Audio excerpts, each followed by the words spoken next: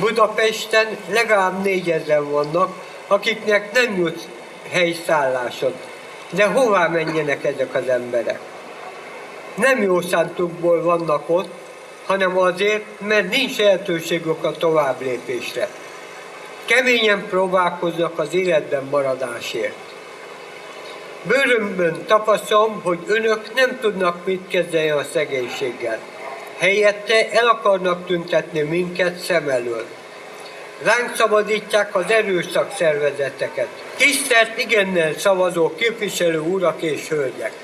Önöknek megvan a hatalmuk ahhoz, hogy áttörő eredményeket érjenek el a hajléktalanság megoldásába. Helyette mégis az elnyomást, a szegények üldözését választották.